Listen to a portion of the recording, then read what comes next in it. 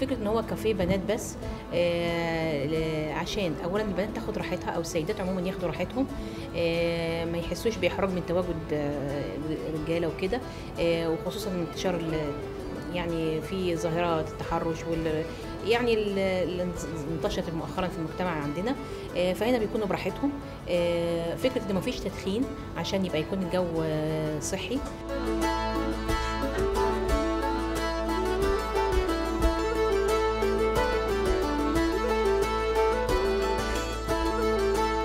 طبعا لأنه بنات بس كمان بيبقى مريح للبنت ان هي قاعدة براحتها.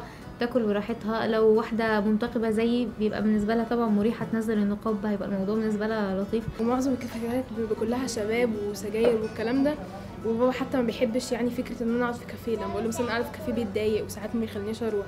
فكون إن أنا في مكان إن أنا أحب أقعد فيه آه، وأبقى مرتاحة فيه وبابا يبقى مبسوط إن أنا قاعدة هنا هو بابا يعني أتبسط أكتر مني لما المكان ده أساسا يعني. عشان ببقى مرتاحة ومفيش حد يضايقني. أكيد بيبقى في راحة نفسية بالنسبة للبنات أكتر.